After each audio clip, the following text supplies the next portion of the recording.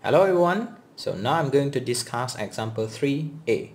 Question asks us to state the domain and range of the following linear function. Hence, sketch the graph. So, refers to the question A, it is a linear function. So, as we all know, the domain for the linear function would be negative infinity until infinity. So, regarding the range, we have to refer the graph. So now what I'm trying to do is to sketch the graph. Since the domain is all real number, so I will let the value for x is equals to 0. So my y will be equals to negative 4. If my x is equals to 1 and my value of y will be equals to negative 1. So now I'm going to plot the value or I'm going to plot the point.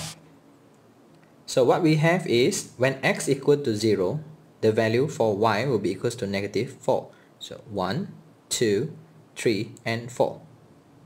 So here will be the location. If the value for x is equals to 1 and the value of y will be equals to negative 1. So here we will have x equals to 1.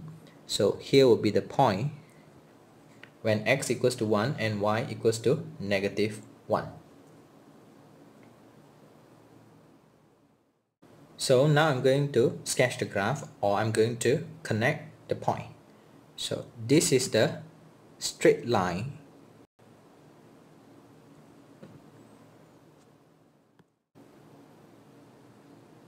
So now I'm going to label the graph.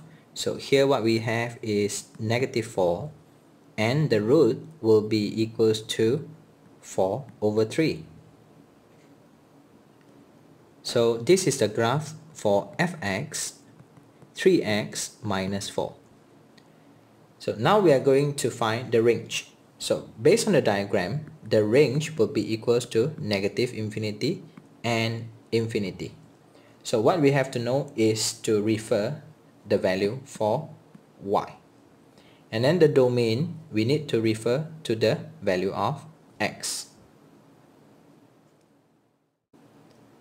So now I'm going to discuss example 3b. The question asks us to state the domain and the range of the following linear function. Hence, sketch the graph. So first I'm going to state the domain. So kindly refer to the questions. We have a function gx which is equals to negative 2 plus 5, comma. We have a range which is negative 1 until 4 where 4 is not included. Based on my experience, the domain for the function g will be equals to start from negative 1 until 4 where 4 is not included. Next, what I'm going to do is to identify the range but the requirement would be sketching the graph in order to get the range.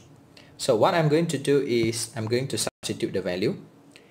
If the value of x is equals to negative 1 so I'm going to substitute the value into the function. So negative 1 multiplied with negative 2, we will have 2. 2 plus 5, we will have 7.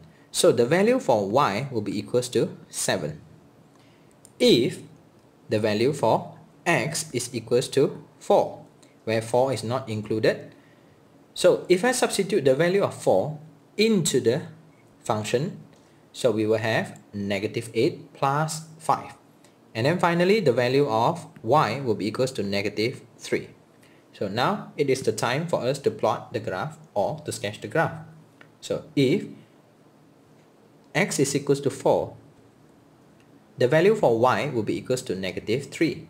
So here we will draw an empty circle because 4 is not included.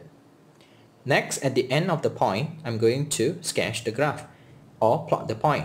When x is equals to negative 1, the value of the y will be equals to 7. So this time I'm going to have a dense circle because the value for y and the value for x is included. So now I'm going to draw a line to connect the point.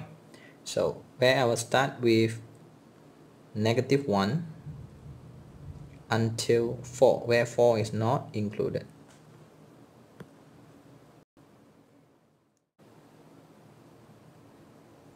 In order to determine the range, we need to refer the diagram. So as we all know, this is a linear graph. So in order to get the value for range, we need to refer to the minimum value and the maximum value for the y-axis. So the minimum value will be equals to negative 3 where negative 3 is not included and the maximum value for the y would be 7. So our answer will be start from negative 3 where negative 3 is not included until 7. So here we are and thanks for watching.